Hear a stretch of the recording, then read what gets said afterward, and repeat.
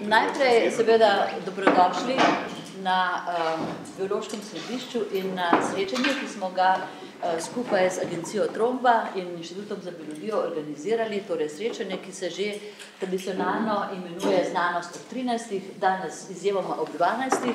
in seveda danes tudi uh, nekoliko drugačna tema.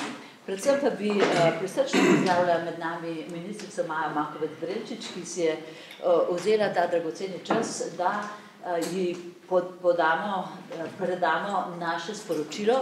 Namreč tokrat bo ta znanost, ta okrogla miza, namenjena sodelovanju med znanostjo, stroko in politiko. In naše poslanstvo je, da prepričamo vse, kako naj delujemo, da te tri veje družbe med seboj povezane tako, da bomo lahko uh, ohranili naš planet, kajti danes je 22. april, to je dan Zemlje in zato še toliko bolj naj bi se kot druge dni zavedali, kako pomembno je, da ta planet ohranimo tak, vsaj tak, kot smo ga dobili preden uh, smo se rodili.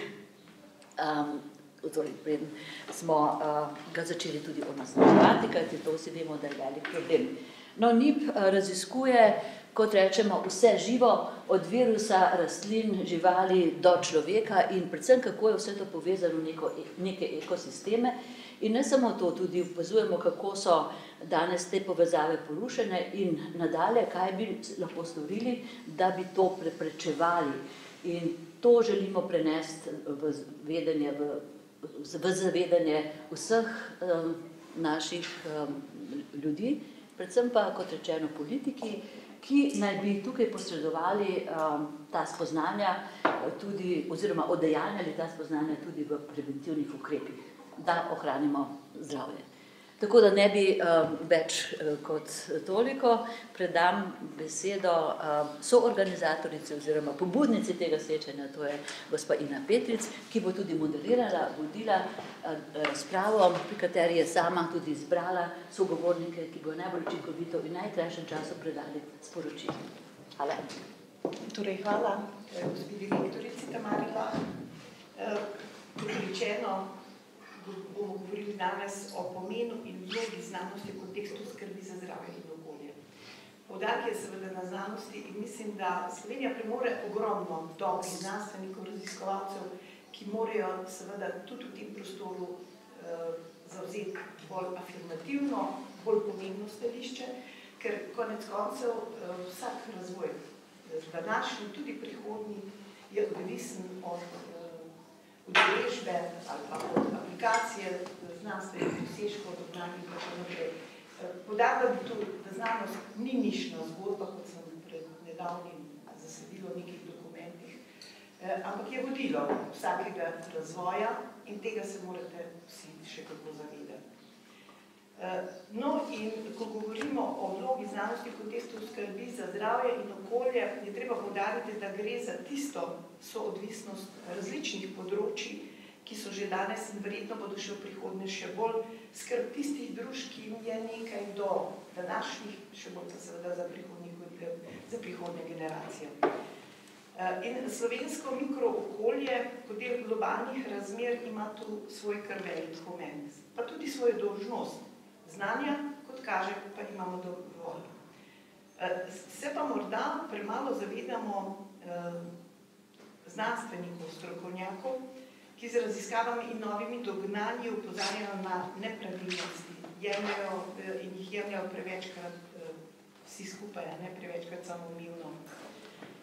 Pa vendar bi morala biti njihova, se pravi vaša dognanja, vodilo ukrepanja vseh tistih vlad, strukturnih politik, gospodarstva, javnih služb, civilnih zgud združen in še koga. Prav zato so taka srečanja tudi dragocena.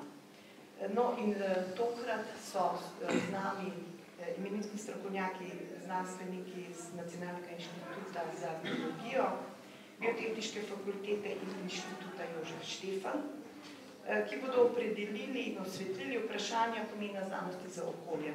Naj tu samo rečem, da eh, zadevo snimamo, bo potem seveda na razpolago na vseh socialnih omrežjih in na eh, spletni strani trombe www.tromba.si, tako rekoč tudi do večnosti si pa tako Moram pa reči, da je obisk pa res izjemen. Taka srečanja so izjemna uh, in res hvala vam, da ste prišli.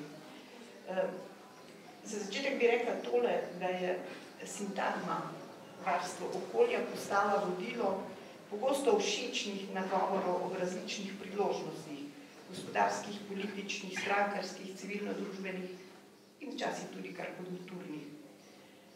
Zanima me najprej, gospod ministrica, kako vi dojemate te apele, seveda enako vprašanje tudi za vas vse goste danes. Najlepša hvala najprej za povabilo in seveda priložnost, da znova lahko sodelujem v, v znanosti v 13. Um, tisto, kar je vodilo pri tem, je seveda, da se čim večkrat srečujemo in se povezujemo seveda v naši skupni odgovornosti do tega, da znanje, ki se že ustvarja znotraj znanosti, isto, ki se nadgrajuje ali celo na novo ustvarja, dobi seveda svoj smisel in osmišljenost predvsem v celotnem povezanem, lahko rečemo, kar krožno delujočem gospodarstvu in od tot tudi seveda ideja nekega trajnega varovanja ne le okolja, ampak tudi zdravja. In govorimo o zdravju, jaz vedno rečem, da ne gre samo za zdravje vsega tega, kar seveda nosimo sami v sebi kot posamezniki ljudi, ampak zdravje celotnega okolja v najbolj prenesenem in najširšem pomenu besede. In tukaj smo vsi so odgovorni do tega, da ga ohranjamo, vzdržujemo, da seveda uh, puščamo za seboj to, kar smo tudi dobili, ne pa da tisto, kar smo dobili kot neko vrednost in vrednoto, uh, postopno zaradi različnih interesov ali razlogov seveda razblinjamo in veliko krat tudi uničujemo, ampak nasprotno, da zgradimo to odgovornost. In moram reči, da uh, bom podala eno ilustracijo, ne, da že v osnovnih šolah, v vrcih, spodbujamo tako imenovan zdrav življenjski slog. Pa ne ga razumeti samo v športnem pomenu besede. Spodbujamo točno z namenom, da že od malega naprej krepimo odnos do okolja kot celote, v katerem seveda smo ljudje, rastline, živali, vse, kar sobiva z nami, kar je bilo ustvarjeno nekoč. No, in jaz mislim, da to ni samo neka deklarativna tema, vse bolj so te teme tudi tiste, ki jih povezano obravnavamo z različnega zornega kota vrste znanosti. In to je nekaj, kar nas zdaj nekako konvergira v, v tej odgovornosti in tudi, če pogledate horizont 2020, pametno specializacijo, recimo danes imamo infodan kost regionalne inicijative ne? in ko se sprehajamo po temah, ki se odpirajo v teh povezovanjih, so seveda vse teme posredno ali neposredno resnice vezane na to ključno temo in to našo soodgovornost do zdravega sobinja, sobivanja vseh pogledih besede. Ne. In zato je zelo pomembno, da tudi takole odprto v tem debatiramo. Ja, najlepša hvala, seveda to je še toliko bolj pomembno, če se recimo resorno ministrstvo zaveda pomembnosti pripletenosti uh, in morda ne jutri, čez nekaj časa bo pa tudi. Morda naj dodam, da tudi medresorsko deluje skupina, ki se ukvarja prav z tem vidikom odgovornosti do krožnega gospodarstva in negospodarstva, torej do nekega, bi rekla, znova in znova uporabljanja virov, ki so dragoceni ne, in seveda, ki jih marsikaj tudi že zgubljamo in pa seveda to zeleno odprto pomeni pravzaprav samo prevod tega, kar mi v znanosti, torej vi v znanosti tukaj recimo v tej hiši še posebej najbolje veste. Ne.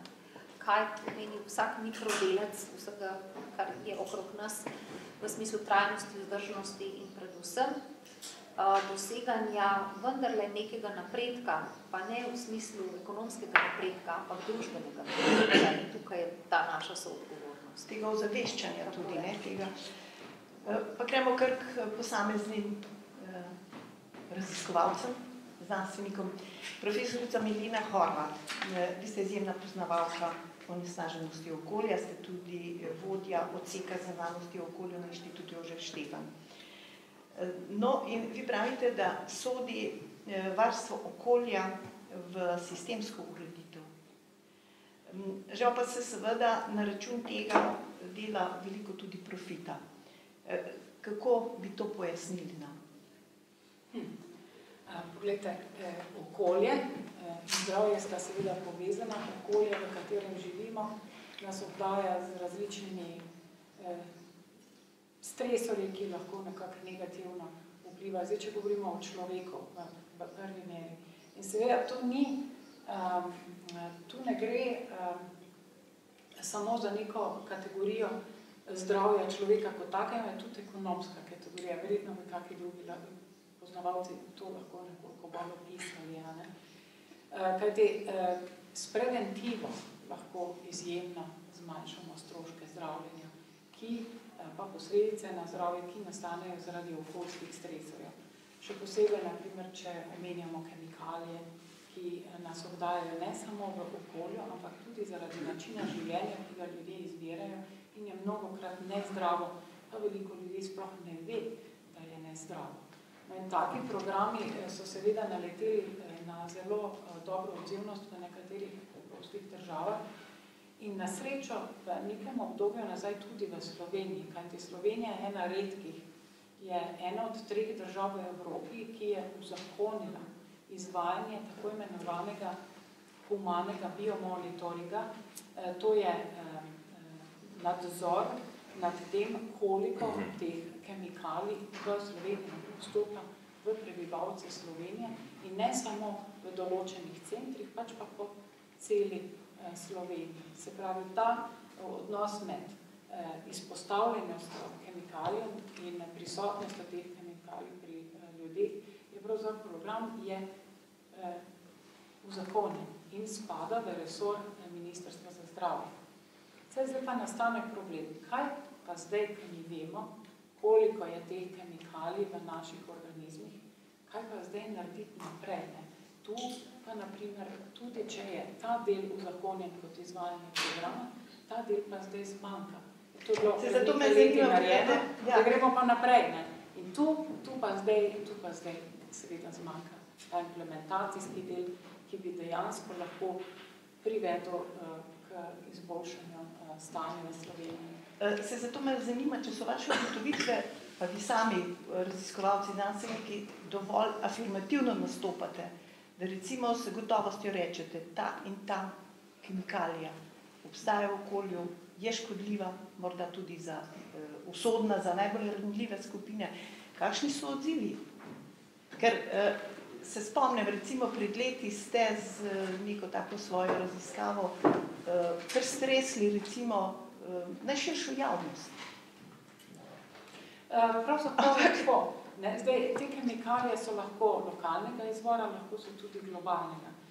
Kemikalijam se ne da izogniti. So v našem okolju in jih bomo vedno seveda tudi zaznali v, v, ljudeh. Ampak to pa še ne pomeni, da eh, prihaja do takojšnjih negativnih učinkov. Ko smo naprimer primerjali slovensko populacijo z evropsko, vidimo, da slovenska populacija pravzaprav eni tisti zlati sredini, eh, kjer je izpostavljeno s tem najbolj znanim kemikalijam, ki so naprimer hormonski motilci, kot so ptalati, eh, potem tudi nekatera sredstva za osebno nego, potem sredstva, ki jih uporabljamo doma za čiščenje prostorov in tako naprej.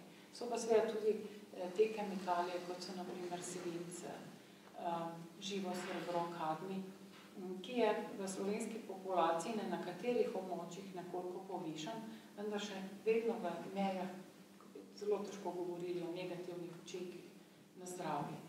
Ne? Tako da eh, slovenska populacija v neki meri ne odstopa bistveno um, od evropske.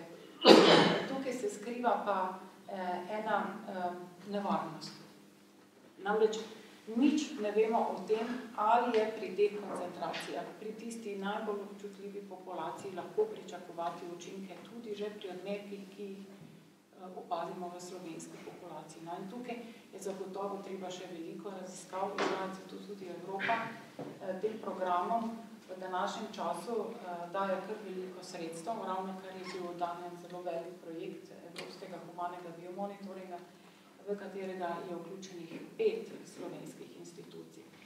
Ampak to, kar bi rada povdarila, to, kar je tudi eh, gospa ministrica povdarila, to medresorsko sodelovanje na področju okolja in zdravja je ključnega pomena, da se potem tudi implementira jo neki ukrepi, ki so potrebni, ker tudi, če mi raziskovalci ugotovimo, izpostavljenost je taka, občutljivost je taka, otroci so bolj občutljivi kot drugi, nekatere populacijske skupine v Sloveniji so bolj občutljivi, ampak kaj pol? potem to ostane vse prazno. Se pravi, manjka tisti implementacijski del, kjer bi dejansko vse te raziskave lahko rezultirale v nekih preventivnih ukrepih, eh, ki bi pa seveda lahko močno zmanjšali stroške. Zlasti gre za take zelo, zelo navadne, mislim, za take obolenja, kot so razne neurodegenerativne obolenja, ki seveda močno zmanjšujejo eh, kakovo zdravja v kasnejših letih, ne? Eh, kot so Alzheimer, Parkinson, depresije, vse te zadeve so zelo, zelo uh, pogoste v Sloveniji. Iskati vzroke, ali so tudi okoljski dejavniki tisti in kemikalije iz okolja tisti, ki temu prispevajo, tukaj pa seveda še nekaj manjka. In to povezovanje različnih a, disciplin, različnih ne samo interdisciplinarnega pristopa, ki je tukaj ključen, je seveda tudi ključno medresorsko eh, sodelovanje. In to ne samo med znanstveniki kot takimi, ampak gospodarstvo, vsemi njegovimi podsistemi, z, ja. recimo s resornimi eh, politikami. Ja, gospod ministrica, ja, želi, pristojnosti ministrstva so seveda razporejena ne, in razdeljena. Ne, seveda, ja.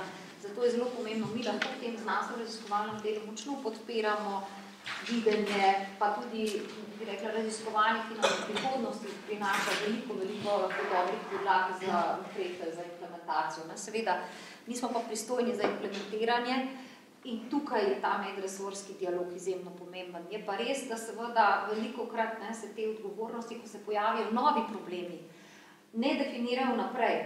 In je izjemno težko razmejiti, kdo je pa zdaj v resnici tisti, ki mora pa pristopiti k sprejemanju nekega ukrepa in implementacije. To se seveda z naše, bi rekla, z naše znanstvene strani zdi tako, ne, kaj pa je to problem, ne, pa v ja. resnici na koncu je problem, ker imamo nosilce ne, posameznih direktoratov, ki seveda imajo določene naloge in obveznosti, pa se dodajo nove, pa vedno vprašanje, kam nekaj bolj sodi. In ko pridemo do interdisciplinarnosti, imamo včasih res problem.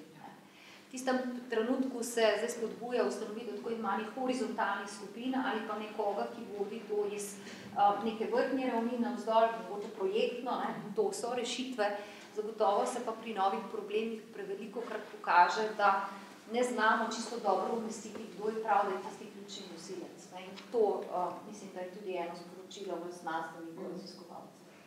Uh, zagotovo je to res, pa še ena, pravzaprav tista tako imenovana nevidna moč, ki je bila pa pravzaprav že na začetku povedana. In to je, pravzaprav vzgojiti to odgovornost pri posamezniku, da je pravzaprav vsak posameznik tudi v veliki meri odgovoren za svoje zdravje.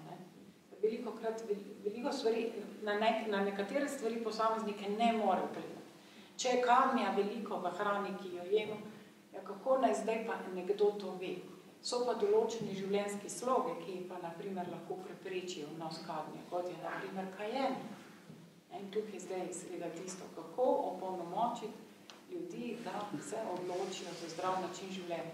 Ker potem pa seveda živimo v nezdravem, torej izberemo nezdravi eh, življenjski eh, slog, potem živimo mogoče še v okolju, ki nam še nekaj doda in seveda je to neke mere seveda organizem zdrži, potem pač odpove, ne.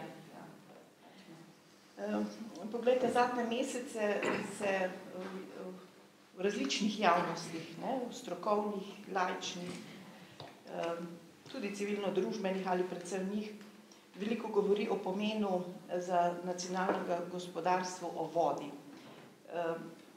Kot o družbenem vprašanju je predvsem v, v spredju. Profesor uh, Mihajl Toman, a je voda družben ali je ekolo, eh, okoljski eh, problem? je oboje, ne? Uh, oboje in na obeh področjih je zadeva predvsem zelo nejasna.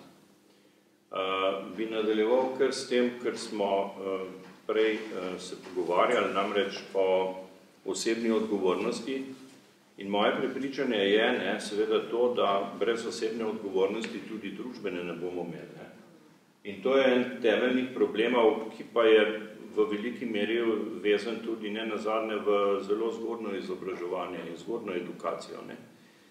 In zdaj, eh, če govorimo ravno včeraj na eni mednarodni konferenci, eh, ko sem imel eh, eno odgovornih predavanj na to temo o družbeni in, in okoljski odgovornosti, sem spomnil za to, da pravzaprav praktično vse v zvezi z vodo se pogovarjamo o tem, ali jo bo dovolj, kakšna bo, bo pitna, bo zdrava in tako dalje.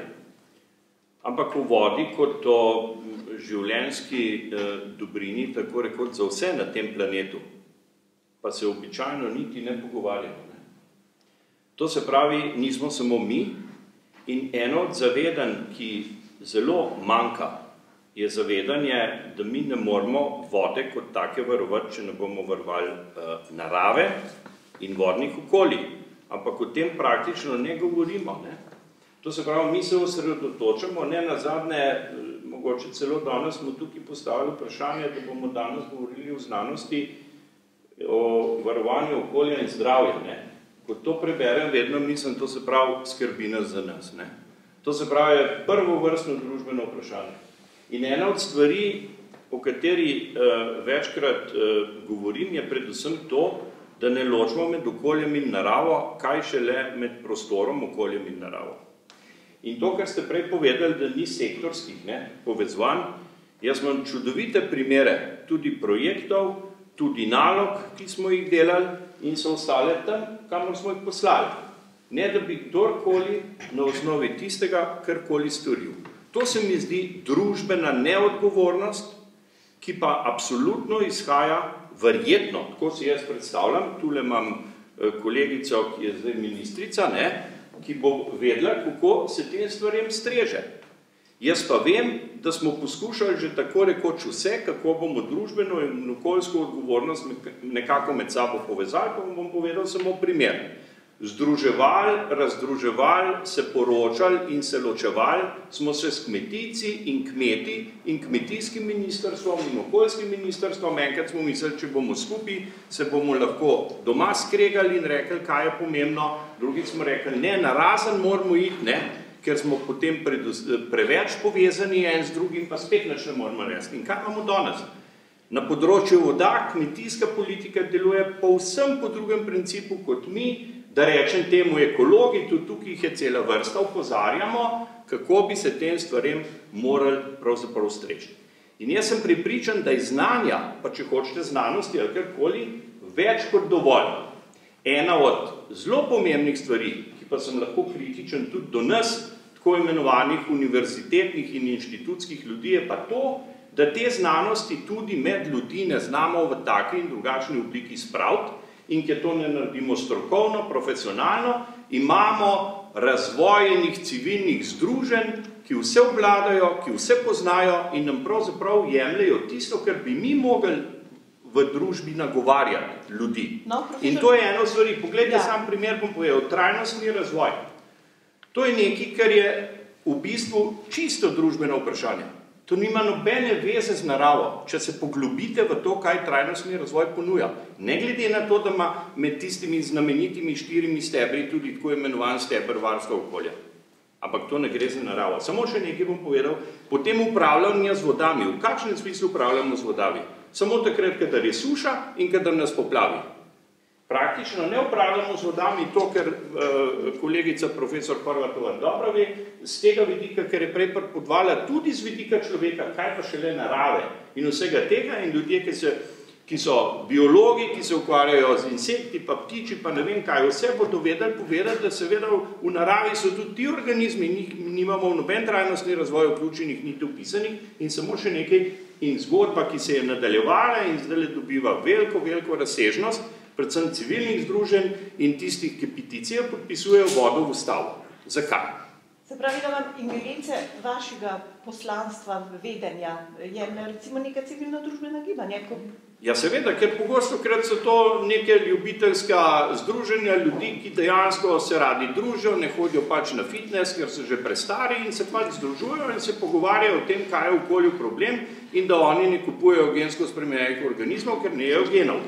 To je tipičen primer, razumete, ki eh, eh, resnično zastrašuje. Ne? In podobno je pa z vodo. Ne? Vse, kar vam rečejo z vodo, je, ali je to zdaj eh, še celo pojem čista voda. Kaj pa to je? Kaj pa je lepa ženska? Me razumete? Pa bi lahko na to temo pa še pripovedali.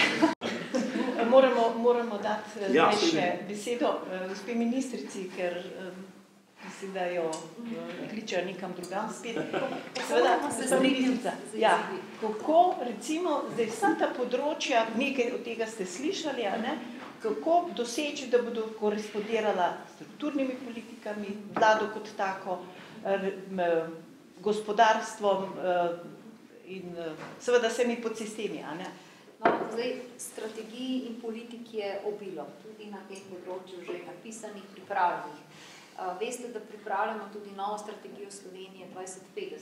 To bo eno od osrednjih področji, kako čuvati okolje, ne, naravo. No in ravno ta, ta strategija ne bi smela, bi mogla poseči po teh eh, In prav tam je rezultatih. priložnost ne, za to, da vse to, kar je raziskano, kar je dognano, kar vi kot znanstveniki, raziskovalci prinašate v vsak dan, v resnici dobi na svoj način svoje mesto, ampak ne le kot zapisano, ampak potem v korakih izvedljivosti. Seveda ne čakati na leto 2050, ampak preprosto udejanjati to po korakih. In jaz bi morda, ker seveda jaz lahko povem, kaj zno- znotraj našega resorja, vendarle skušamo povezovati, delovati, pa morda um, dala kot en izziv ali predlog, da se pa v prihodnjem zbiru več resornih ministrov skupaj z vami Ja. usede in skupaj razmišljamo o tem, kje pa so priložnosti, morda že v obstoječih projektih, da se ustvari več sinergij, da se jih bolje požene, da ne ostanejo neke reči samo na uradniški ravni, ampak da je tudi več inicijativ, lahko tudi civilnih inicijativ tistih, ki nas vse skupaj pri, primora, da se premikamo malo hitreje.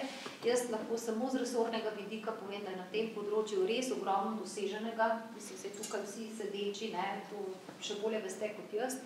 Um, in da tudi znotraj našega direktorata za znanost so to področja, ki so zelo podprta, tudi v pomoči, kar se tiče storitev, informacij, pretoka, vedenja z Evropsko komisijo, Evropsko unijo, vsi ti projekti, ki sem jih prej naštevala, so pravzaprav posledica tega. In to področje je eno močnejših. Nas pa povezuje seveda ogromno še drugih izzivov. Vsak od vas je seveda specializiran v nekem drobnem segmentu, kar je tudi prav, ker pač znanost ne, tako sestavlja potem celovito zgodbo, ampak seveda to širšo videnje v izvedljivosti nekih korakov, to je pa tisto, ki, ki pa potrebuje bolj eh, sistematičen dialog, pa kar bi rekla multilog, ne, ker, je, ker je to v resnici tako prepleteno področje, da težko en sam v nekem resorju premakne uh, obilo. Ja, hvala vam. Hvala, Tako Da hvala tudi za, za povabilo in seveda za razmišljanja. Jaz kar poznam za sugestije, ampak um, seveda je pa uh, vse na koncu v udejanjanju tega, kar se odločimo. Ne, Tudi primer vode v ustavu, da ali ne. Imamo izvrstne strokovnjake, ki seveda z pravnega vidika to poznajo tudi iz drugih uh, držav, um, celo tistih največjih, ne, ki imajo z vodo v resnici velik strateški izziv. Um, kako pa mi, ne, ki ne, smo mali, pa hkrati moramo seveda zavarovati tisto najbolj dragoceno, kar imamo, včasih celo v in tisto je res potrebno ene posebne skrbi. In je več spet strokovnjakov in znanstvenikov potrebnih, da stopi skupaj. Torej, profesor Toman, naj se sliši vaš glas javno. Ja, jaz to vse čas govorim, ne? In to, kar je eh, gospa ministrica tudi zdaj povedala, ravno ta znanja, mi imamo ogromno čudovitih kamenčkov ne? Za mozaik, ampak potem pa naredimo skropucalo eno sliko, ki je katastrofalna. Kako je to mogoče, ne? se jaz sprašujem. Razumete, ne? Čisto vse ni Moza- katastrofalno. Ali ne. zdaj nisem tako mislil, da je vse katastrofalno, ampak znamo narediti sliko, ki je zmazana. Ne? Lahko bi jo pa naredili z vsemi znani in tako naprej, ki jih imamo pri naravoslovnih vedah, absolutno v povezavi eh, z okoljem in ta pobuda, ne, da soočimo ministre, ki poznajo tako rekoč vsa področja, eh, od okolja, kmetijstva, eh, bi rekel, eh, vojske, ne, zunanje politike in tako dalje, da jih dobimo. No, to je še prihodne, ne? In da znanost resnici direktorica. dobi potem svojo vrednost, ne? do posameznika, do državljana, do človeka, ne? ki pač resnici mora biti pozoren na vse. Če dovolite, eh, ko se ravno v tem, eh, ste omenila tudi civilna združenja, Pogosto krat potem izpade za nekaj, ker v bistvu strokovnjaki, ne, to je šlo tudi ne nazadnje za inštitut Jožef Stefan in tako dalje, ne, za določene analize, tako eminentnih inštitucij postanejo vprašljive. Razumete? In to je nedopustno v tej družbi. Ne? Da se lahko potem neko civilno združenje ukvarja z vprašanjem, ali so analize neke, eh, bi rekel, inštitucije eh, sploh pravilne oziroma realne, ali niso mogoče za namene neke politike. Mi smo tako daleč počli. Ne? In to je resen problem nas, kako pravzaprav z družbo v tem smislu zaveščati, ne? da mi nismo neka plačana delovna sila nekoga, ne? ki je danes na oblasti, jutri bomo pod nekoga drugega. Ne, nismo. Ja, to je seveda neodvisno strokovnjak, kot se to mislim, da bomo danes še kaj kakšno rekli tu. Ja, hvala pa, hvala pa, vabljam me tudi v prihodnje. Zasedanjem sem.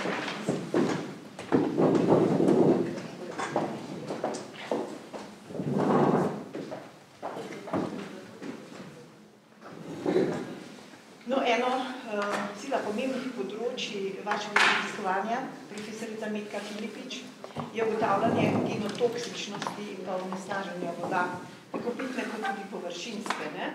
Uh, samo na kratko, za kakšno onesnaženost gre? To, to je bolj ali manj kemijska onesnaženost, pretežno kemijska onesnaženost, niso samo vode in pa ampak je lahko to tudi hrana, to so tudi kemikalije v zraku, vse posod. Uh, je pa specifična lastnost genotoksičnih kemikalij ta, da svoje učinke ne bojo pri vzpostavljen, na izpostavljenih organizmih, vključno s človekom, bom govorila o organizmih, ker se mi ukvarjamo tudi z organizmi, ne samo s človekom, uh, glede izpostavljenosti teh s tem snovem, se pokažejo po daljšem času, lahko recimo kot rakavo obolenje, novejše raziskave kažejo, da so, da so po, po, te genotoksične poškodbe oziroma posledice delovanja teh kemikalij povezane tudi z neurodegenerativnimi boleznimi, vse več je teh dokazov in kot smo že slišali, se te bolezni v populacijah kopičijo, začetka so jih povezvali predvsem z rakom in pa genetskimi boleznimi, medtem v okolju pa lahko na dolgi rok vplivajo tudi na spremembe v eh, občutljivejših populacijah, eh, tako imenovano izginjanje občutljivih populacij lahko povzročijo. Problem je pa ta, da se vse to dogaja na zelo, zelo dolge roke. Rak čez 30 let, genetske bolezni v naslednji generaciji, izginitev okoljskih organizmov pa morda niti ne bomo upazili uh, v tem svojem življenju. Ne? In Ja, in zaradi tega seveda, dobro, te raziskave zdaj potegajo tudi regulirane so genotoksične snovi v okolju, v okolju ne? to se pravi, obstaja zakonodaja, da jih je treba ugotavljati uh, uh, in tako naprej, to, to, to zaprav je to spodbila, spodbudila ta Rachel Carson, če poznate Silent Spring, kakšnih 40 let nazaj, ne? to je bil tak, uh, kako bi rekla, uh, Eh, preskok eh, in takrat dejansko je družba odigrala svojo vlogo. Takrat je na pritisk družbe se morala zakonodaja, industrija spremeniti in se je začeti potem eh, tudi na tem področju bolj intenzivne raziskave, ki so danes po 40 letih implementirane v ustrezne zakonodaje in predpise. No, ampak to je zelo, zelo počasen, počasen proces implementacije takšnih uh, spoznanj. No, danes mi vemo več, uh, te raziskave potekajo naprej, prihajamo do novih podatkov, uh, za katere kaže, da bi bilo potrebno upoštevati pri implementaciji v ustrezno regulativo, ampak to gre pa res zelo počas. To so verjetno... Ja, pa bi šlo lahko hitreje lahko bi šlo hitreje, ampak tukaj jaz mislim, da so odzadi najrazličnejši lobi. Recimo, če vzamemo primer, industrija ni verjetno zelo zainteresirana, da bomo zdaj mi rekli, lejte, tole je pa nevarno, zdaj od zdaj naprej morate vi to kontrolirati, tako naprej, to stane. In seveda se potem dodana vrednost zmanjša, produkcija podraži, razvoj se lahko podaljša zaradi tega, ne? Uh, to so vse stroški. In v današnji uh, kapital orientirani družbi je to siguren ni zaželjeno, ne? Uh, v tem smislu. Čeprav gre naprej, mislim, da smem reči, da ne, ampak zato gre pa verjetno počasneje, kot bi šlo. No, že prej profesorica Horvatova je omenila vprašanje teh um, hormonskih motilcev. Tudi vi ugotavljate te stvari, ki delujejo seveda na dolgi rok. In me zanima, tu je pa vprašanje tudi recimo nekega prihodnega populacijskega vprašanja povezanega s tem. Ne? Pa me zanima, a obstajajo kakšni, kakšne tendence, da bi se recimo raziskave na tem področju bolj intenzivno začele odvijati? Um, pa tudi, tudi, tudi glede te genotoksičnosti. Moram reči, da uh, tako je, v, če gledamo recimo evropske razpise, v sedmem okvirnem programu so bili to vrstni razpisi, tudi mi smo sodelovali v enem takem razpisu, ker to so, to so bolj, bi rekla, na pol temeljne raziskave. Ne? Uh, mislim, ne bojo prinesle jutri neko dodano vrednost. Medtem, ko v Horizonu tega praktično ni.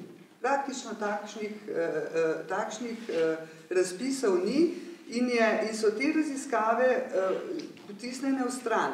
Ne? Eh, tako da v bistvu... Ampak so ključnega pomena za njih? So, to so družbenega pomena, ampak ker je vse zdaj eh, nekako usmerjen v aplikativne raziskave, ki bojo jutr dale neko veliko dodano vrednost, kjer se zelo malkrat upošteva, kakšne dodane to vrednost je to na družbeni ravni. To se ne računa. Če bo toliko manj bolnih ljudi, potem bo tudi tuna industrija imela dodano vrednost, ker najo imeli bolniški, ampak tega pa ne računa nobeden. Ne? Mislim, vedno se zgleda samo zelo osko uh, usmerjeno. Uh, zaradi tega se pravi, se pravi, mi smo kukareni policaji, nujni smo, ampak nismo pa preveč zaželeni, da bomo pogruntali kakšne stvari, ki niso ki niso, ki je fino jih kar malo skrit, ne, ne vedeti, ne vedeti, tukaj z nevedenjem se da kar dobro živeti, ne, zato ker ti efekti se ne bojo pokazali, tudi mandat ene vlade definitivno tega ne bo čutil, tako da to ni problem. Ne, spravi, da tudi v srednjeročni perspektivi finančni, a ne bi te stvari mogle biti vsekakor zaobjete, ne? Bi mogle biti zaobjete, ampak moje osebno prepričanje je, da tako, kot je to zdaj zastavljeno, da to bi mogel biti bolj poudarjen družbeni interes. Ne toliko eh, se opirati na, na interes gospodarstva uh, in tega, ampak družbeni interes. Interes družbe. Zdaj, kaj me zanima, ima vaš inštitut eh, eh, kakšno funkcijo inšpekcijskega ne, nadzora? Ne, funkcije inšpekcijskega nadzora, zdaj na področju toksikologije mi nimamo. Eh, Ste pa edini v Sloveniji, ki imate dovoljenje za testiranje mutagenosti? No, to ni čisto točno. Mutagenost lahko testira kdor, kdorkoli. Ne. Eh, mi, imamo, mi imamo zdaj registriran laboratorij, ki izvaja teste mutagenosti po principi dobrih eh, laboratorijske prakse OECD. To pomeni, da so naši testi mutagenosti, rezultati so uporabni za regulativo, to se pravi, za, če neka firma hoče testirati neko substanco, zato da jo bo registrirala, so to, te, so, morajo biti rezultati pridobljeni na tak način. Drugač pa ni nobene uvere, da kdo testira genotoksičnost in se je to tudi dogajalo, recimo, ko so nam uh, nastrašili, kako so vse vode genotoksične, zato ker so ki so s tistim čebuljnim testom testirali. Ampak problem je že spet to, kar je že bilo omenjen prej, ne, da so to neki ljubitelji, ki take stvari počno na neustrezen, nestrokoven način, poleg tega pa še uh, zbujajo zaskrbljenost v javnosti na čist neprimeren način. Ne. Še nekaj vas moram vprašati, ker se ukvarjate s tako pomembnim pa občutljivim eh, področjem eh, javnosti se namreč, to, kar je profesor Toma že preomenil, se pojavlja vprašanje um, kredibilnosti recimo rezultatov znanstvenikov. Ne? Pa me zdaj gre za neodvisne ali pa kako, kak, na kakršen koli način povezane s kom. Pa me zanima, a ste se vi že kdaj znašli v takih situaciji? Ne, eh, moram reči, da se nisem znašla. Ne, ne, mi smo delali pač lastne raziskave, ki so potem objavljive, delali smo tudi raziskave za naročnike, te rezultate pa lahko objavimo samo z njihovim dovoljenjem oziroma velikrat sploh niso mišljeni za objavo, ampak so to za, za njihovo uporabo. Ampak tukaj jaz ne vidim nobenega problema, ne, sej, uh, uh, mi naredimo relevantne raziskave, teste, karkoli se od nas zahteva uh, in nismo nakoli čutili nobene, nobenega pritiska, da nekaj ne bi smeli povedati ali pa da bi, mogel, ali pa, da bi se kdo drznil reči, gledajte, ta rezultat nam pa ni všeč, dajte vi to, kaj drugega, ni, tega, mislim, to si ne bi drznil, vsaj pri nas, nobeden narediti. Ne. Tudi mi bi izgubili kredibilnost v končni fazi, če bi mi samo enkrat to naredili, potem ne bi bilo k nam nobenega več. Ja, hvala lepa, mislim, da ste na to upozorili in da ste tako javno povedali, ne? mislim, za seveda mentalne poslušalce. E, še vedno na nek način ostajamo pri vodi. E, Dr. Zadina Everšek, vaše raziskovanje pa je osredotočeno predvsem na ugotavljanje cianobakterij v vodi. Te delitve so zelo zaskrbljujoče in znimerljive tako za stroko, kot tudi za nas vse, bomo rekli, javnost, ne, ljudi. Uh, mislim, da ste rekli, da je toksin uh, teh cianobakterij na nivoju kobra toksina, to malo smo kar prestrašeni. Ne? Uh, nam lahko pojasnite, zakaj gre? Um, ja, tudi um, cianobakterije, katerim običajnih prebivalcev naših voda in vseh voda po svetu, pač svojim nenadzorovanim cvetenjem kažejo, da je ravnoteže porušena. Ne? To je pač samo eden od indikatorjev, da gre po okolju slabo in da gre nam slabo. Ne? Um, in v tem primeru smo pač še to bolj zaskrbljeni, ker so te toksini res lahko zelo strupeni za ljudi, povzročajo razne neurodegenerativne poškodbe, raka in podobne in pač to, to ljudi zelo stisne. Jo, jo, to je res tako strupeni. Res, nekateri so zelo bolj strupeni kot kobra toksin, nekateri manj in to je pač nekaj, kar se splača v to vlagati, eh, zato ker gre za nas. Ne? A, a se to recimo te posledice eh, opazijo na dolgi rok ali eh, so lahko... Če gre za zelo veliko količino, so lahko tudi kratkoročne, ampak tist, kar nas skrbi, so dolgoročne posledice. Ne? Tako kot je že profesor Filipičeva rekla, to niso stvari, ki se vidijo jutr. Ne? Večinoma prijemamo majhne doze, dalj časa in zato so te raziskave to bolj nekako dolgotrajne. Ne? Težko je, da tu razen v izjemnih primerih, kjer pride do ne vem, akutne zastrupitve, do pomora rib, do pomora rac, živine. Nahajamo pa te um, v obliki cvetenja, kot ste rekli? Ja, to stoječih vodah.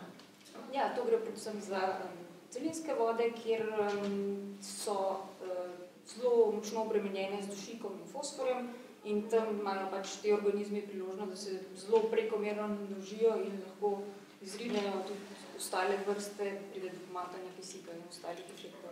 Kateri predeli v Sloveniji so pa recimo bolj obremenjeni s tem? Kje nas Predvsem severovzhod, ki je bolj nekak um, kmetijsko aktiven, ima uh, veliko bolj veliko večjo pogostost tega cvetenja.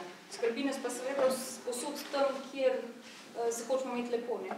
recimo tudi na Bledu, pa ni severovzhodna Slovenija, pa nas zelo skrbi, ne? kada pride tam do cvetenja. Um, in kot ste rekli, gre za porušeno ravnotežje, recimo v tem recimo vodnem okolju. Ne? In zaradi tega vnosa pač nekih onesnaževalcev, ki pač povzročajo potem to cvetenje. Me zanima, ker ste omenili predvsem severovzhodni del, kjer je kmetijstvo zelo razvito, kako recimo gledajo kmetici ne, recimo na to področje, ker tam pa je seveda izplen zaslužka lahko Ja, seveda, ne, zgodba ni črnobela, ne.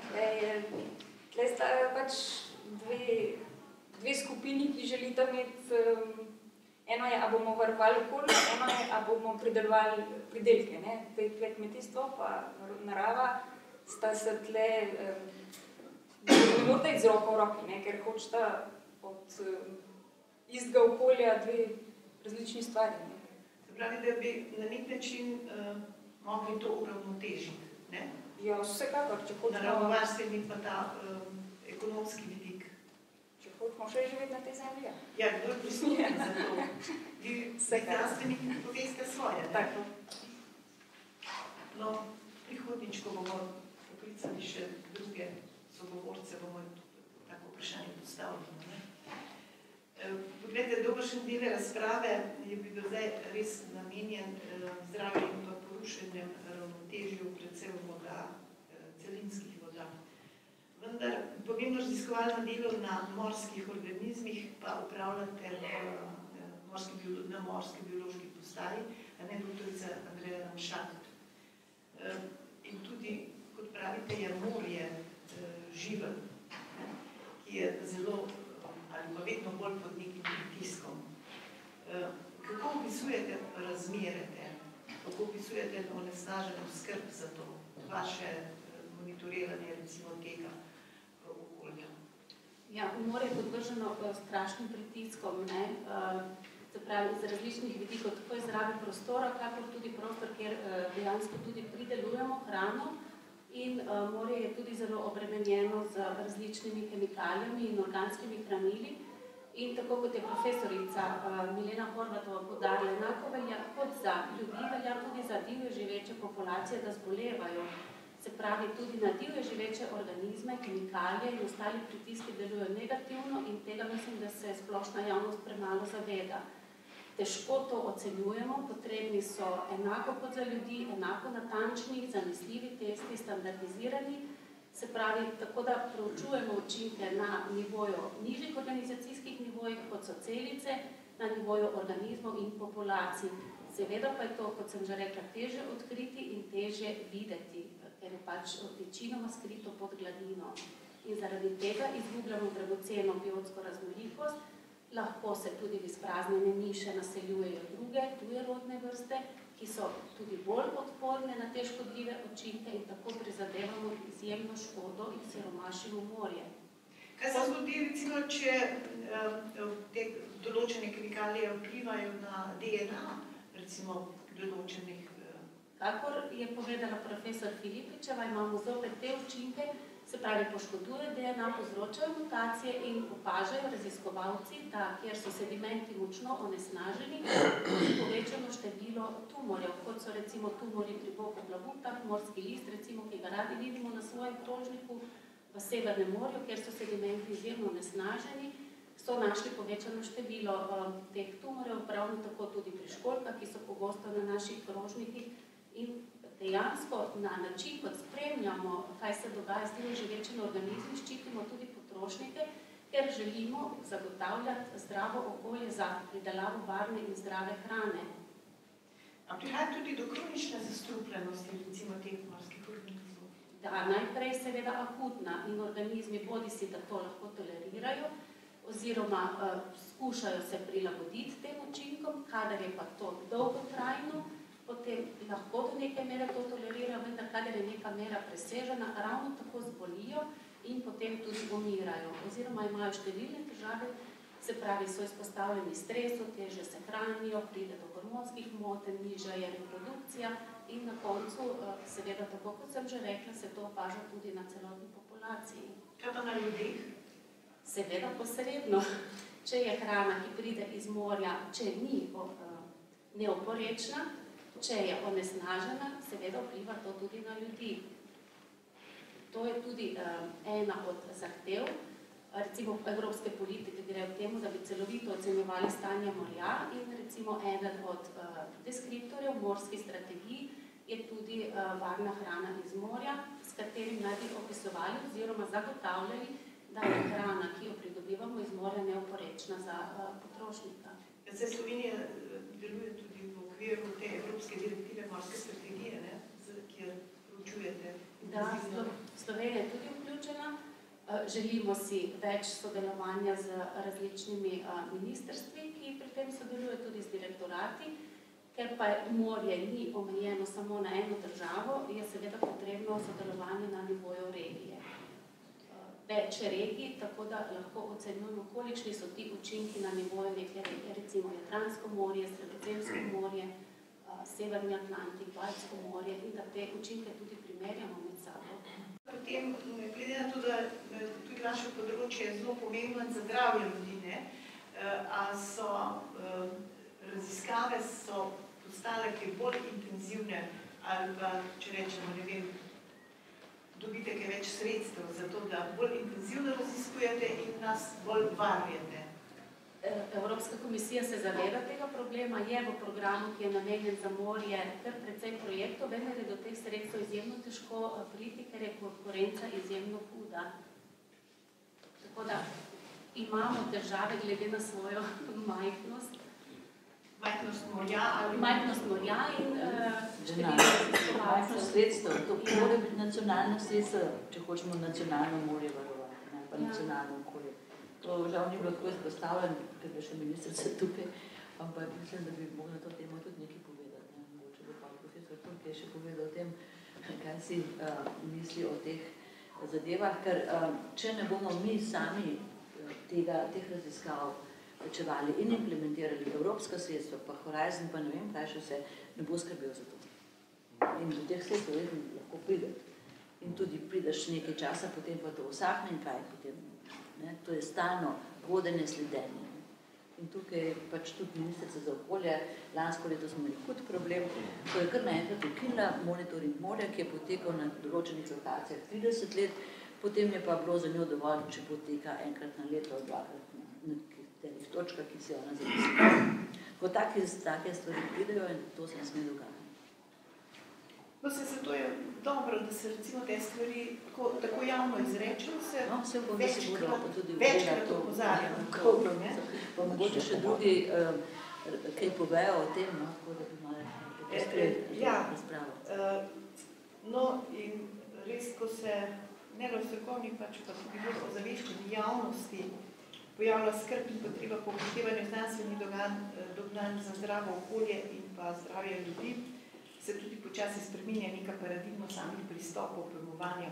Profesor eh, Luka Jovančič, eh, vi ste kot agrarni ekonomist zelo upeti v to polje, zelo se prizadevate k tem spremembam, bodi si kot profesor, bodi si pa kot inicijator delovanja različnih eh, združenj.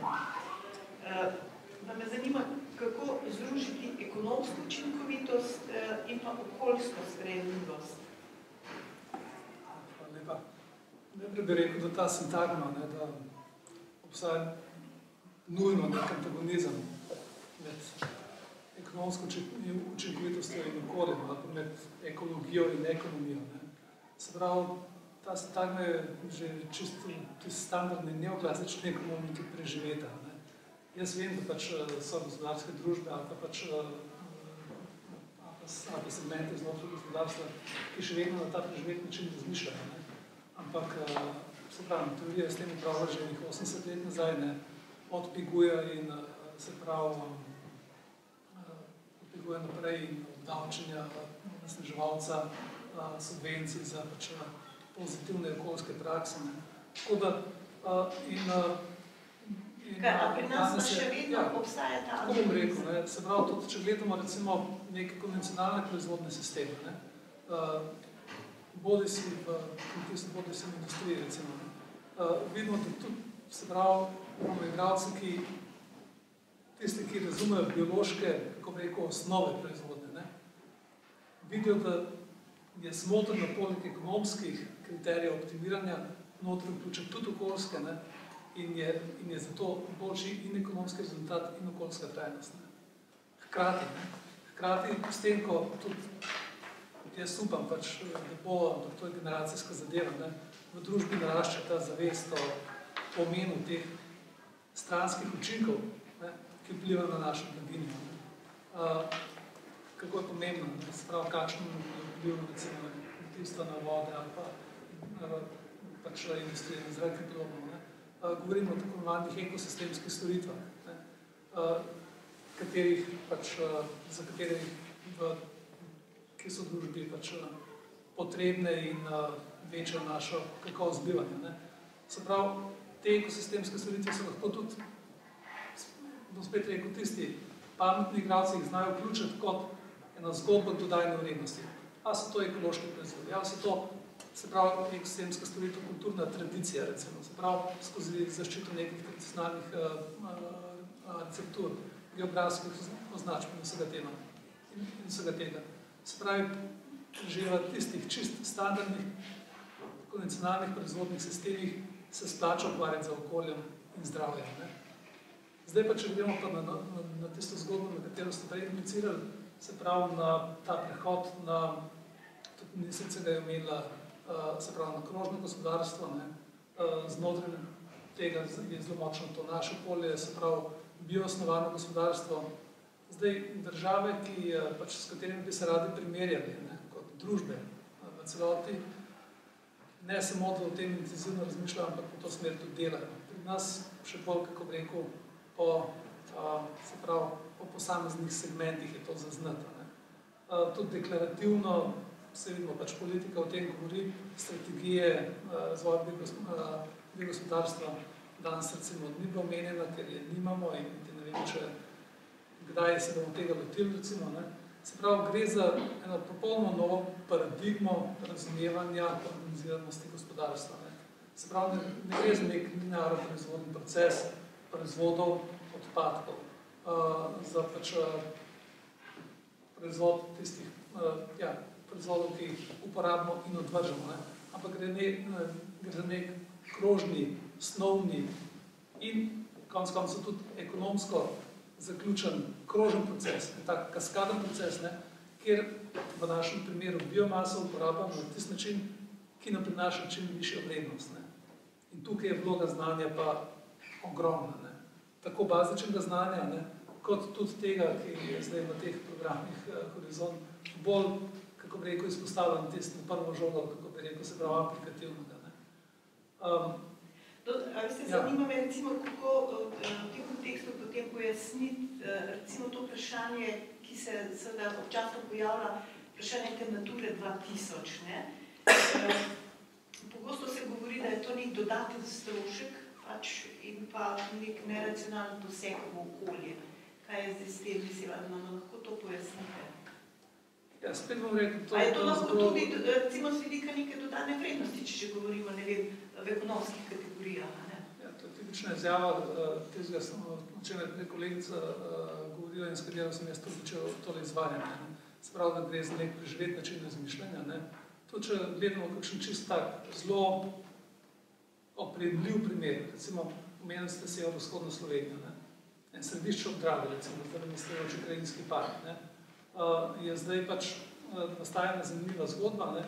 kjer se eno od teh okoljevarstvenih društv hoče pokazati, se pravi, uh, kmetovalcem, da se da kmetovati, se pravi, na ekstenzivnejše načine, z dodajanjem vrednosti, za recimo blagovno znamko, mislim, Majoromoške lagune, recimo, ne, za tem, da pač je to tudi lokacija, na kateri se lahko tudi turistično rekreativne zadeve odvijajo, da je to tudi, uh, se pravi, uh, mislim, da je tam precej uh, oljarstvo, tradicionalno prisotno, ne? se pravi, da tudi skozi prodajo kmetijskih prehranskih proizvodov za zgodbo in doživetjem. Se pravi, ker konkuriranje na tem, se pravi, segmentu trgov za masovno pravo, za, za nizko dodano vrednostjo, praktično je ni kmetijske panoge, recimo v Sloveniji, ki bi to zmogla prenesla. Ne? Ampak s tem pametnim, se pravi, vključevanjem atributov okolja, tradicije in tega v dodajne vrednosti, to je zgodba. Ne? In tudi Natura 2000 se sem notri idealno mešča. No, zdaj smo na nek način zaključili ta krok vode, ki je zdaj res v zadnjih mesecih zelo, zelo v spredju. Pa gremo še seveda na druge dejavnike, ki vplivajo na nek način na zdravo okolje, bomo rekli. Ne? No in um, doktor Davlin Tome, uh, vi ste zapisali v svojih uh, objavah, ne, da um, so ptiči zelo pomemben pokazatelj spremembe zdravega ekosistema. Kako nam to lahko pojasnite? Torej, dejansko ptiči so zelo pomembni pokazatelji. Mogoče bi povdaril, da v resnici je vsaka živalska rastlinska skupina nek indikator, ki nam nekaj pokaže. Isto prednost, ki imajo ptice pred ostalimi skupinami, v katero nekako smatramo, da so primerne za, za, za pokazatelje stanja v okolju, je to, da so ptice so zelo mobilne. čim se neka sprememba zgodi, one takoj reagirajo, ne, takoj odletijo in jih ni več ne, in to zaznamo. Pač recimo, če bi spremljali neke polžele rastline, oni lahko ustrajajo tam še dolgo časa in se matrajo in nekako ne zaznamo, da je prišlo do spremembe. Ne. Pri pticah je pa drugačne. Hitro reagirajo in tudi uh, ptice so dobro poznana živalska skupina, zelo dobro vemo, kaj posamezni vrsti ustreza, kaj ne in če zgine, potem lahko relativno hitro iščemo, kaj so tiste spremembe, ki so, zaradi katerih so ptice odšle. Koliko pa se mi zavedamo tega in kako recimo, ne vem, lajki lahko to sploh opazimo, če imamo recimo nekih rezultatov ali vaših raziskav? Lajki to zelo dobro opazijo. Mi kako hodimo po terenu, recimo, recimo kmetje, predvsem te starejši kmetje in se z njimi pogovarjamo, oni to dobro opazijo, ne? da so nekatere vrste, oni ne vejo, kjera vrsta je, ne vejo zakaj, ne? ampak vejo, da včasih so bile, so, so bile na nekem travniku, so presevale, danes jih pa ni več. Ne. Samo oni so pač uh, tukaj to uh, spremembo opazijo in naprej pač ne grejo. Ne. Naša naloga nekako ne bi pa prav, da bi skušali ugotoviti, zakaj do tega prihaja kako v bistvu te spremembe uh, v bistvu povrniti naprej še stanje, zato da, da pač ne bi do teh sprememb v okolju več prihajalo. No in kakšno stanje ugotavljate recimo pri nas, ampak tudi seveda, ker ne gre zdaj samo neko lokalno zgodbo, ampak smo del širše zgodbe, ne, tudi ptiči najbrž, uh, bom rekla, ne vem, če se primerjamo z Evropo. Ja, stanje je precej slabo, ne, v bistvu te, uh, pa ne mislim samo pri pticah, na splošno pri živi naravi, se to pač vsi vemo, ta biotska pestrost se zmanjšuje. Ne. In če se mogoče tudi navežem na to Naturo 2000, na zavarovana območja, um, to, da govorijo, da je Natura 2000 strošek, jaz, jaz temu sploh ne bi uporekal. Ljudje se morajo zavedati, varstvo narave pač stane in ni poceni. Ne, to je pač nek določen strošek, ki ga moramo ljudje eh, na nek način uložiti, uh, zato da bo ta okolje takšno, kakršno bi bilo. In tudi zaradi tega, ker se ljudje tega ne zavedajo, uh, pogosto prehaja do teh težav pri varstvu narave, ker glavna, glavna težava varstva narave se mi zdi v tem, da ljudje so vsi za varstvo narave, ko vidijo nek, nek profit v tem. Ko pa je enkrat varstvo narave pomeni nek dodatni strošek, nek odrekanje, takrat pa lahko iščemo ljudi z baterijo pri prvem dnevu, pa jih bomo zelo manj našali. Tega se ljudje ne zavedajo. No, vse zato so recimo, ne vem, govor ali pa ne vem, nastopanje vas znanstvenikov, raziskovalcev, pomemben del tega ozaveščanja javnosti ne, in spremembe, tako recimo to, kot je prej profesor uh, Juvančič govoril, o spremembi neke paradigme ne, dojemanja pač nekega konvencionalnega uh, postopka, ne, ki leta ali desetletja trajajo. Tako, ja, jaz mislim tudi, ja, da je treba ne desetletja generacije, po moje, potrebno, da bo začela drugač na to okolje oziroma na naravo gledati, ne samo iz tega svojega koristoljubja, kot ekosistemska usluga, ampak pač dejansko kot nek partner, ki mora sobivati z nami, zato da lahko in eni in drugi pač preživimo v tem okolju. Ja, treba pa pri tem podariti, ne, da je to seveda tudi uh, na nek način te stvari, ne morete ad hoc delati, ampak te stvari tudi stanejo. In raziskovalci seveda rabite denar. Tako, ja. Za same raziskave potreben denar in tudi potem za, za implementacijo teh raziskav, za vzdrževanje takih stanj, ki bodo omogočale, da bo pač narava uh, osobivala znanje, tudi za to, so potrebna sredstva. A smem je nekaj? Uh, Lahko je nekaj? Ja, gospod Cizel, ne? Ja, izvolite. Samo mogoče, da se navežem na oba. Resnično imamo problem, ker verjetno eh, osko strokovna znanstvena argumentacija ne penetrira dovolj v javnost in v politično sfero. Tako da jaz vidim nalogo eh, stroke oziroma znanosti, da pomaga te veliko argumenti, ki so povsem jasni, je kolega sveda ta model, eh, ti modeli so dan že poloma jasni. Mi v bistvu znamo samo meriti stroške, ne znamo pa meriti, kakšni, pa pravzaprav stroški, če gospodarimo na tak način ekonomska znanost še bilo dobro v zadnjih 10-15 let ugotavlja, da pravzaprav ni bistven samo dohodek, ampak je pravzaprav gre za srečo ljudi. In se prav, del te sreče je tudi v kakšnem okolju živimo. Uh, tako da, verjetno je, je, kot ste omenili, zelo pomembno, da se, recimo, Nacionalni inštitut, ki ima tukaj pomembno vlogo, da se angažira v tej smeri, da bi zavi in javnosti z zelo ponostavljenimi argumenti nazori, kaj lahko naredi in vsak človek, vsak občan in po drugi strani, kaj podobnavoga politike, da z ustvarjanjem enega režima, ki bo uh, stimuliral in nagrajeval tiste, ki so naravno gospodarijo in tudi kaznoval tiste, ki pa to ne delajo. Mislim, da sam še ena pripomba, na, naše številne te inšpekcijske službe uh, so premalo rigorozne, premalo dosledne, ker kršitelje, ki tudi zelo intenzivno uh, onesnažujejo pravzaprav samo simbolično kaznujejo. In to potem seveda prispeva k temu, da mnogi si premoščijo onesnaževanje, ker se ne bojijo konsekvenc. Ja, ne, ne, hvala lepa, mislim, zelo... Če, in tudi jaz sem ja. prizdal, to je izjemnega pomena, ker je kolega Tomen tudi govoril, ne. Ampak, eh, če gremo na teren ne, in te ljudi poslušamo, pa res ni tega ptiča, ni drugega ptiča, ampak jaz do zdaj še nikoli nisem srečal človeka, ki bi rekel, da je on kriv za to. Ne. To se pravi, ta oseb krivc je nekdo drug. In to je en velik problem, s katerim se mi soočamo. Vsi drugi so krivi, jaz ne. Torej, neka osebna odgovornost na tem. In ko se kolegica Jeleršičeva tam ne meni s temi kmeti in tako naprej, jaz vam povem primere, ko smo to ravno tako raziskovali, ne. Največji problem je bil to, da je bila dejansko, bom kar direktno povedal, kriva Ljubljana in ministrstvo, da oni ne morajo za izitev več uporabljati za namakanje, ne, V bistvu so bili pa to ljudje, ki so v tej zaizitvi prali cisterno za gnojevko, ne? to se pravi. Ampak niso bili oni krivi. Osebna odgovornost je tisto, kjer smo mi daleč najslabši. Torej, ne priznamo svoje napake. Da pa bi spoznali to, da pa moramo za to nekaj plačati, to, kar praviš, ne? to je pa še daleč od tega.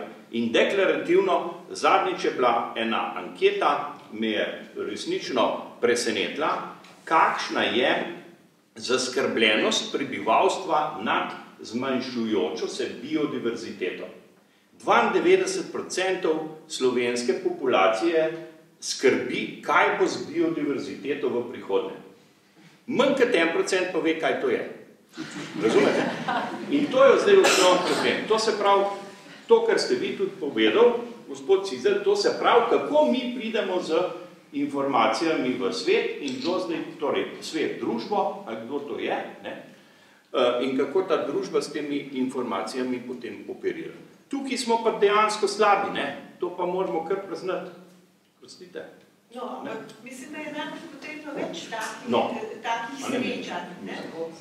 Eh, moramo. Tako, eh, ker konec koncev to, kar je gospod Cizle rekel, ne, ne gre zdaj za visoko znanost, ki seveda um, jo uporabljate v svojih poročilih, letnih, mesečnih, kakorkoli, in v laboratoriju, ampak eh, zelo lepo je do danes vse prikazano tako, tako, da je res najširši javnosti lahko to vse skupaj razumljivo. Vse se, vse se trudimo, ne? v bistvu vse kar precej objavljamo tudi poljudne uh, časnike, se pojavljamo na televiziji, na radio, z izbranimi besedami, preprostimi, skušamo stvari razložiti, no, sam dejansko je to problem, eh, ki verjetno celja generacija, da, da se bo v eh, gnezdu ljudi v njihovo miselnost. Ne, ne gre tako hitro. Ja, seveda, pa tudi pri mladih je treba zbuditi na nek način ne, eno zanimanje za te učinke.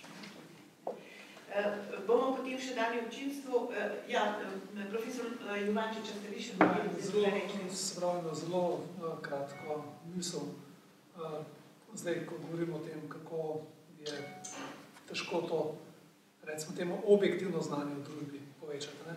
Jasno je, se pravi, v poljih, v katerih se vi gibate, vam je točno jasno, da znanost napreduje bistveno hitrejše kot družba v celoti. Ne? In da sploh pač potem sprejemanje tehnoloških inovacij v družbi, ne? na primeru GSO vidimo, kakšne težave se pri tem pojavljajo. Ne? In kakovostno komuniciranje in naslavljanje poljudno je ena stvar, ne? Druga stvar, kjer se težko in se ne smemo zgledovati s konkurenco, je, da pač um, um, konkurenca, da tako rečem, tisti, če imam, pač kolega Toman jih je omenil, se pač razno raznimi prosto častnimi društvi ali pa profesionalnimi, kako bi rekel, ustvarjalci, bom rekel tudi karpanike, ne, je ta, da se nazovemo čustva. Čustva so tista, ki se nas hitro dotaknejo in ki zelo hitro potem tudi, se pravi, tisti del v našem odločitvem procesu, ki se naša na, se pravi, subjektivno zaznalo, subjektivno znanje, ne, se zelo hitro usedejo, ne, za razliko od objektivnega, za katerega se moramo malo pomatrati. Ne. In v tem polju, se pravi, verjetno pač operirati se čim več konkretnimi primeri, ki delujejo, da je to prava zadeva. Ne. Se pa z nekimi, se pravi, takimi čustvenimi, rumenimi zadevami, pač na to polje se ne sme pač spuščati, ker to pač zgubimo vso kredibilnost. No, se, zanimivo, to čustveno prizadeto smo pred mesecem, mogoče dvema, ne, doživeli ob uh, čebelah. Doktor Benito Belk, uh, ko je šlo za strupeni ali ne strupeni med, škodljiv, neškodljiv med. Uh, čebele so resnično vaše področje in ogromno veste na tem področju. Me zanima, ne, koliko so one nekako pokazatelji, varno, tisti, ki varujejo, recimo, ali pa se signifikantno vpliva na recimo to okolje. In pa seveda posledično tudi na naše zdravje, ne. Ja, čebele so zelo pomembne, predvsem kot opraševalke, tako za delovanje naravnih ekosistemov kot v kmetijstvu. Oboje je zelo pomembno za kakovost našega življenja. Bi pa na tem mestu rad podaril, da ne oprašujejo samo čebele, da imamo še cel kup ljudi opraševalcev. V prvi vrsti so to dive čebele, več kot 500 vrst živi v Sloveniji. To so čmrlji, čebele samotarke, potem oprašujejo še muhe, trepetavke, metulji, nekateri hrošči. Pa še kaj bi se našlo, tako da vseh opraševalcev v Sloveniji zagotovo nekaj tisoč vrst. Vse o tem lahko vprašamo, če to pestrost opraševalcev potrebujemo. In uh, zadnje raziskave kažejo, da potrebujemo, zelo potrebujemo. Um, da le pestrost družbe opraševalcev zagotavljajo zanesljiv servis opraševanja. Žal se pri nas tega premalo zavedamo in vso pozornost tako vse stavljamo na medonosno čebelo, ki sicer pomembna opraševalka, vendar ne more oprašiti vsega. No in seveda tudi uh, kmetijstvo je bilo danes nekajkrat omenjeno, ne? Uh, ravno v zvezi s temi čebelami in pa kako vi sodelujete recimo s tem, pa seveda s farmacijo, ki proizvajate fitofarmacijska sredstva, ne, ki pomagajo kmetijstvu do boljšega pridelka, višje dodane vrednosti, a ne, mislim, če govorimo spet o teh ekonomskih kategorijah. Um, kaj vi opažate, koliko so recimo vaše, vaše raziskave, vaše dognanja recimo upoštevane? Ja, kmetijstvo je panoga, ki je zelo odvisno od vpraševanja, verjetno najbolj od vsega. Um, in mi v bistvu opozarjamo kmetijstvo, da država vejo, na kateri sedi. Tako da mislim, da, da, je, da, smo zelo pomembni za tega kmetijstva. Recimo, da vaša strokovna avtoriteta uh, ima ta pomoč, da lahko prepreči recimo te anomalije, ki jih v zvezi s čebelami praktično vsako leto doživljamo? Um, deloma, ja. Določen, določen napredek tem, na tem področju je bil dosežen.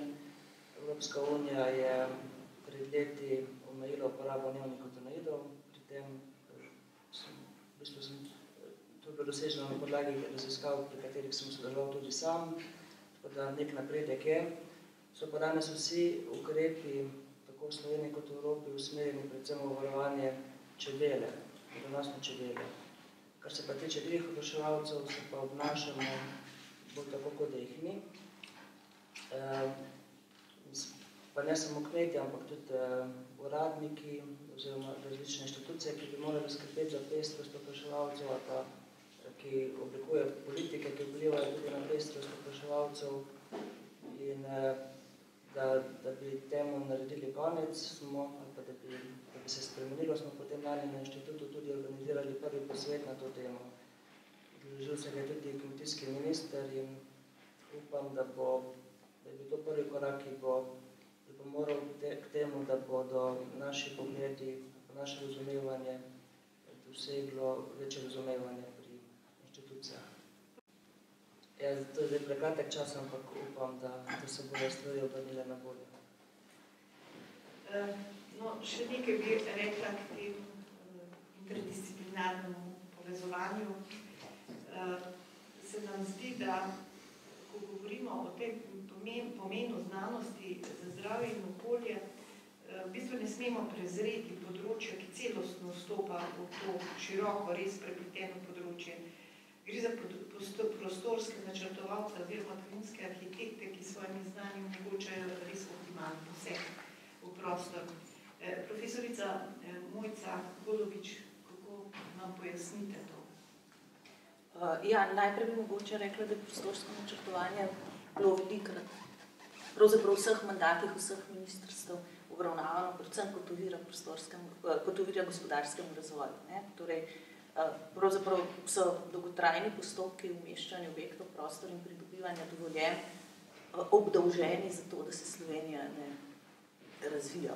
A za nezaželjenje ali pa slabo razumljeni? Um, ja, najbrž oboje.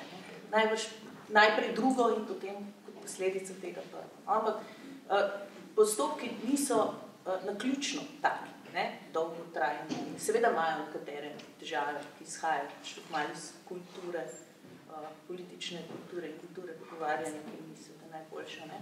Ampak taki so ravno zato, ne, da se preden v prostor umestimo nekaj, ki, ki bi lahko povzročilo nekaj slabe vplive na okolje ali pa potem tudi na človekovo zdravje, vsem na človekovo zdravje, da se ti vplivi poskušajo naprej preveriti in seveda preprečiti, ne, s tem, da se nove dejavnosti, nove proizvodne proizvodnja ne umešča ravno tja, kjer ima lahko slabše posledice. Ne? In postopki seveda nekaj časa trajajo, treba je uskladiti različne resorje med seboj, če smo danes že nekaj rekli. Ne? Treba je vprašati javnost, treba je vprašati, če hočete tudi te nevladne organizacije, katerih smo danes že nekaj slišali ne? in um, seveda stvari potem so lahko malce bolj dolgotrajne. Mogoče bi to tudi lahko ilustrirala pa um, razložila z njimi rezultati raziskav javnomnenjskih, ki sem jih pred kratkim videla, kjer Slovenija med 33 primer, primerjanimi državami sveta zaseda prvo mesto glede na to, kako ljudi skrbijo okoljski problemi. Ne? To se pravi, od vseh 33 držav Slovence najbolj skrbi okolje. Ne? Po drugi strani ne, smo pa čist, ampak res čist na dnu po zaupanju v inštitucije. Ne, vladi zaupamo, ne vem, z oceno dve od pet, uh, zakonodaji zaupamo z oceno dva cele, pa še nekaj od pet, ne, skratka, polno nezaupanje v uh, aparat, ki naj bi skrbel za javno korist, kamor se da zdravje in polje sodi, ne, po drugi strani velika zaskrbljenost. Tako da najbrž te nevladne organizacije pač polnijo zdaj ta prostor, ne, ki se tukaj vmes razpira. Ne. Vse to je dosti pomembno, ne? mislim, take signifikantne rezultati, ali neki kažejo na to, da ljudi le hočejo nekaj več vedeti o tem, jih skrbi, kako bomo urejali eh, zadeve, ne? ampak na nek način prihaja pa do razočaranja, ne? do, tako kot ste rekli, ne? teh. Ja, gotovo. Ne? Mislim, eh, prostorsko načrtovanje gotovo ima urodja, s katerimi se, če se pravilno uporabljajo, no? če jih znamo uporabljati, če se uh, znanje, ki je vanje investirano, uh, pač tudi uporablja. Presoje vplivov na okolje, strateške presoje vplivov na okolje so namenjene ravno temu, da bi se na tej najbolj preventivni ravni preprečilo, da pride do nekih negativnih vplivov na okolje. No, celo pa leto, a ne, teh tem smo danes obravnavali, mislim pa, da lahko še občinstvo kaj povem, si kakšno svoje mnenje.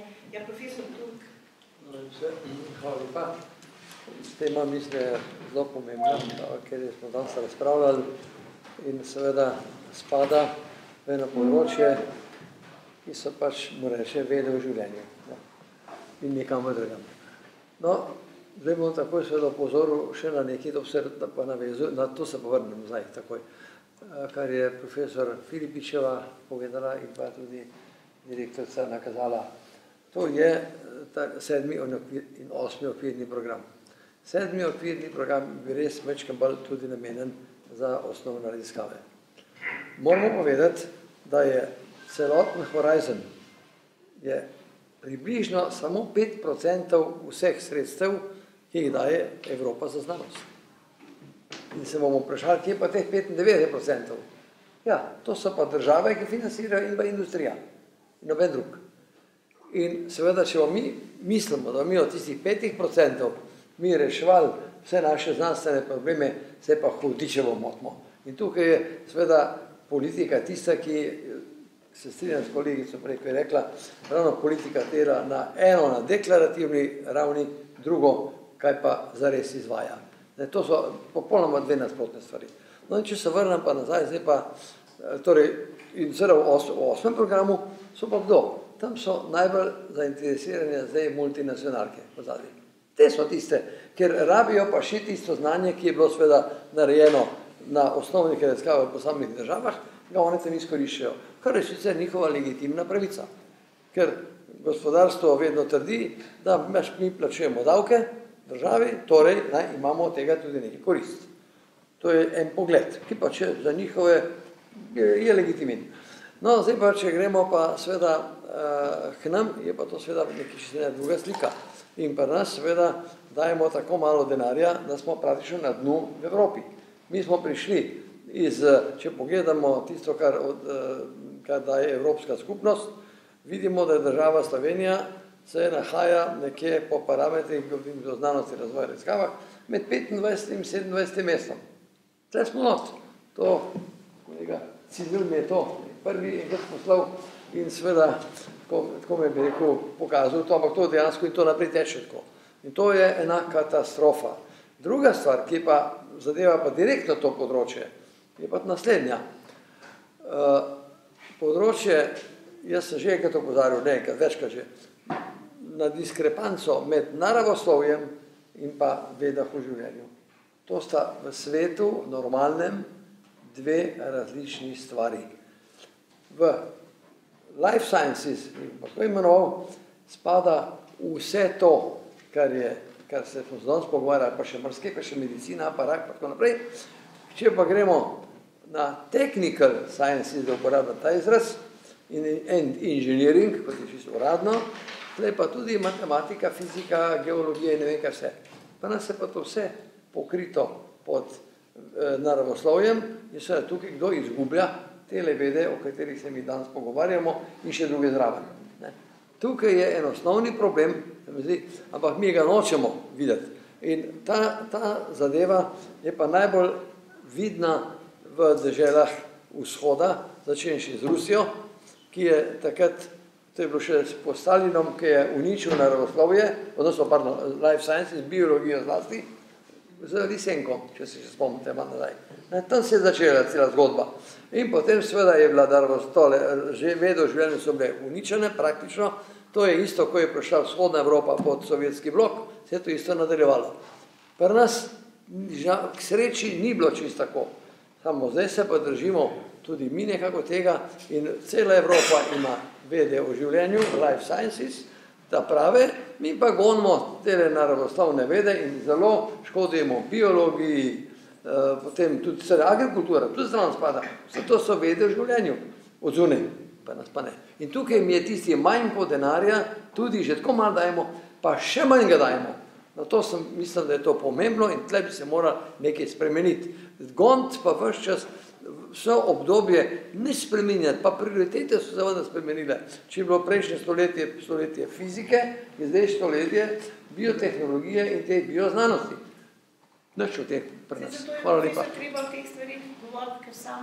Nič ne pomaga, vse govorimo, ja, ampak poliki nič ne slišajo. Ja. Uh, še kdo, kakšno misel bi sam nekaj eh, ja, profesor misli, da je zelo pomembno. Namreč eh, pomankanje teh strateških usmeritev na področju raziskav za neko večje družbeno korist in tako naprej, to je v Sloveniji kar zelo resna zadeva. Tako da po eni strani ne samo, da doma primanjkuje tistega bazičnega denarja, ki bi pokrival te osnovne stvari, da bomo plačali elektriko, gretje, čistilko in take stvari, Potem pa pride pa rečejo, zdaj pa pejte vi v Evropo, zdaj imamo obzorje 2020, tam je denar, pejte tja. Ja, je, tudi za to vrstne raziskave je tam denar. Ampak je potrebno prikazati sofinanciranje. Z tem je bistvena razlika. Sofinanciranje na drugačen način, kot je bilo v, v sedmem okvirnem programu, ker so mehanizmi, kjer ti lahko prideš do tega denarja taki, da moraš ti dejansko imeti, naprimer, tudi do 70% sofinanciranja strani države. Ali, naprimer, 50, zdaj odvisno za kakšen instrument gre, ker so zelo različni.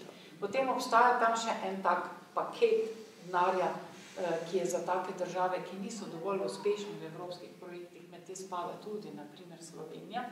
In zdaj, tam pa lahko dobiš nekaj denarja za to, da se boš bolj povezal z Zahodom. Ampak kdo te bo pa maral na Zahodu, če nimaš prave infrastrukture, če nimaš dovolj tega, sej sploh jih ne zanimaš, seveda se povežejo, ampak pol si spet v enem strašnem eh, položaju, ker te lokalne, domače scene sploh potem ne morejo priti do izrada. In se mi zdi, da smo tako skoraj prišli na neki nivo neke prostitucije, pa se opravičujem temu izrazu. Mene prav včasih ne bo. Ja, ne? slabe. Lahko dodam k temu, ne, reki spomena. To je ena stalna praksa bila na tem, zdaj pa rekel, ozemlju, tudi širšem ozemlju, torej mislim bivši državi. Na kaj bom rad spomnil? Nekoč smo imeli tako zvane žitne fonde. Ne vem, kdo se še sploh spomne to. Jaz sem toliko star, da pa to vem. Ne? So bili žitni fondi, ki je Jugoslavija je dobila od Amerike pomoč in potem ameriška vlada, ko so nam žito dajali, ker je bila lakota, pa ne vem kaj vse, mi smo to izplačevali nazaj v dinarjih.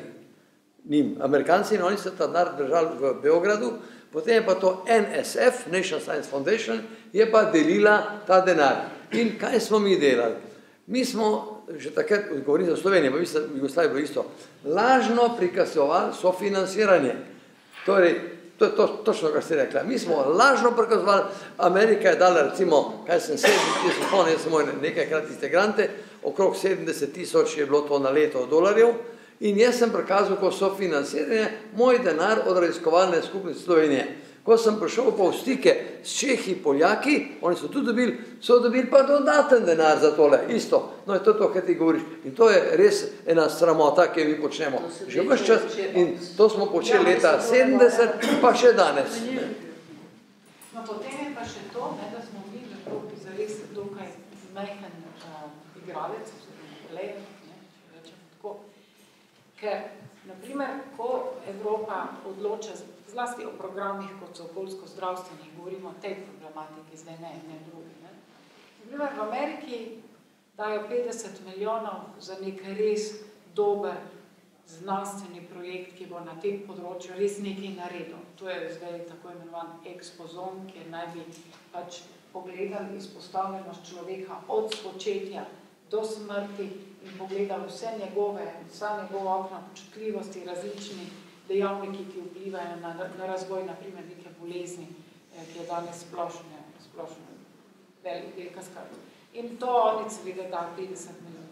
50 milijonov pa Evropa da za čisten tak uh, program, kjer se velike države to med sabo razdelijo, zato da delajo to, kar že vsak ptič na veji zna, za pet, tisti, ki je preživel.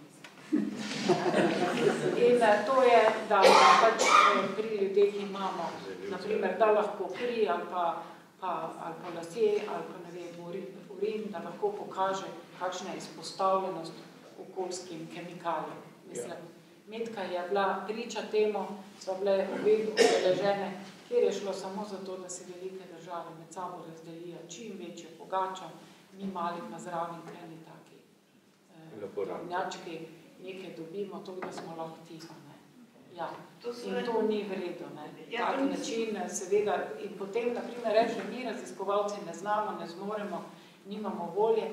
Mislim, da tukaj, eh, ko govorimo o okolju, zdravju, je treba najprej pogledati medresorsko, dobiti politično podporo.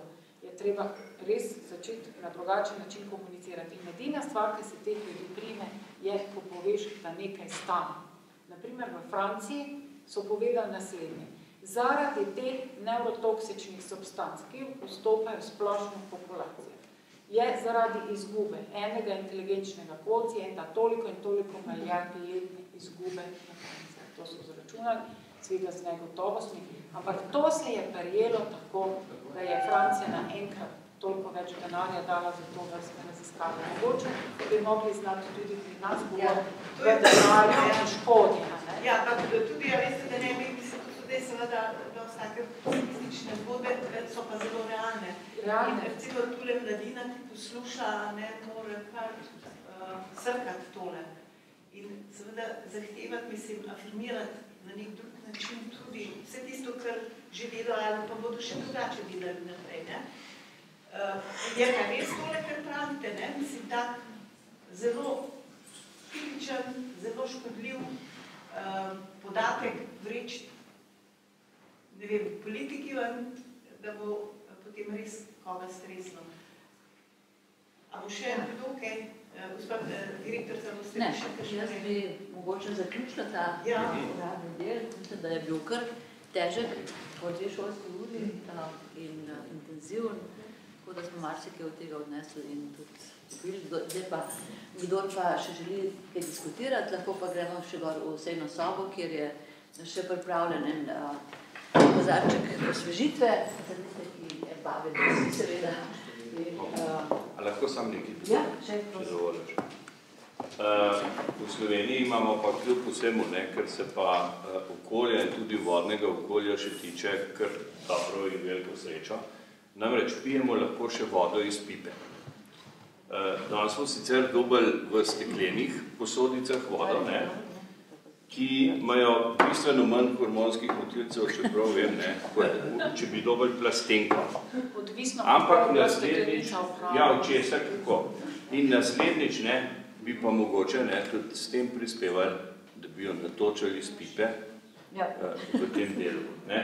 Uh, v steklenici bi pa vino postregali. No, v steklenici imamo malo šampanca, uh, vodo smo pač uh, na začetku da bolj priročno. Ja. V, v, pri nas na, na inštitutu pa dejansko pijemo iz, uh, iz. Tako da jaz bi se zahvalila vsem, no, ki so svoj čas in uh, posvetili temu, da so tudi pripravili te, ta izhodišča, da so bila zelo dobra in ko bo to na spletu, bomo pozarjali, da naj si ljudje to ogledajo in da Super. mogoče pa vodimo še širšo debato.